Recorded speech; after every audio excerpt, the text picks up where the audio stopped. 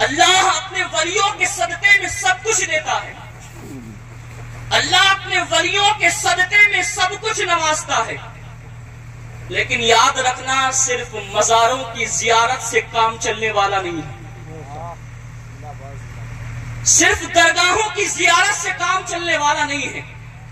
हज़रत ने अभी बताया कि जन्नत कैसे मिलेगी? जजा अम बिमा कानू या मलू इंसान के अमाल की बुनियाद पर उसे जन्नत दी जाएगी।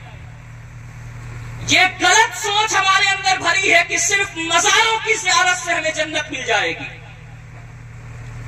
वो गलत पीर है। वो पीर नहीं, वो हाफिज मिल्लत की जबान में पैर है। जो कहते हैं, नमाज़ ना पढ़ो, जन्नत हम दिलवा देंगे। किसी के बाप की जन्नत नहीं है जो दिलवा देगा। ये गारंटी, ये सर्टिफिकेट तो दुनिया के सबसे बड़े पीर मोहम्मद अरबी सल्लल्लाहु अलैहि वसल्लम ने अपने सबसे सच्चे सहाबी हज़रत अबू बकर सिद्दीक को भी नहीं दिया था। ये हमारा क्या कॉन्फिडेंस है यार कि हम पीर की बारगाह में जाए और पीर की मजार की जियारत कर ले तो जन्नत मिल जाएगी। ये कॉन्फिडेंस तो अबू बकर सिद्दीक को नहीं आया तो हमें कैसे आ गया? हम क्या समझते हैं सिर्फ़ मजार की जियारत से हमें जन्नत मिल जाएगी? यार, अगर वो सहाबा सिर्फ़ नबी के मजार की जियारत कर लेते तो अल्लाह उन्हें जन्नत अता कर देता। इसलिए कि दुनिया के किसी मजार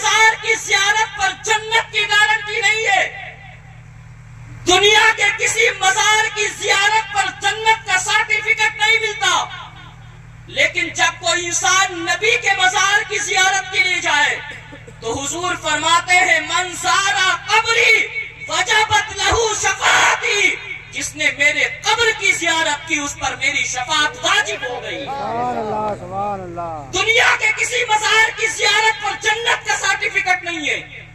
लेकिन नबी के मजार की जियारत पर तो जन्नत का सर्टिफिकेट मिल रहा है। लेकिन मुझे एक सहाबी कोई बता दे जिसने सिर्फ़ नबी के मजार की जियारत की हो नबी के मस्जिद नबी में उसने नमाज़ छोड़ दी हो। एक सहाबी तारीख इस्लाम के अंदर नहीं मिलेगा। जिसने फकत नबी के मजार की जियारत की हो।